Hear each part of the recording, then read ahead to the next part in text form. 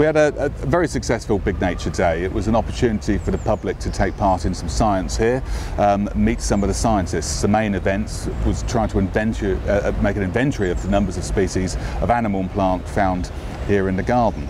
We recorded over 150 species of plant on the day.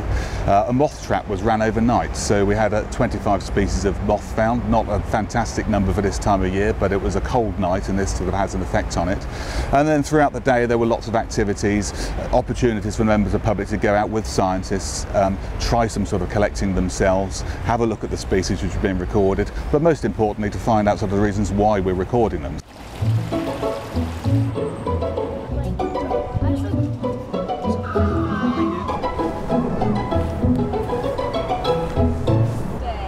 Well, the garden's been opened up to the public. There's a lot of people exploring here, looking at trees, looking at nature, right in the middle of the city. And mostly what I found in here are some ladybirds. Um, these are uh, larvae of ladybirds.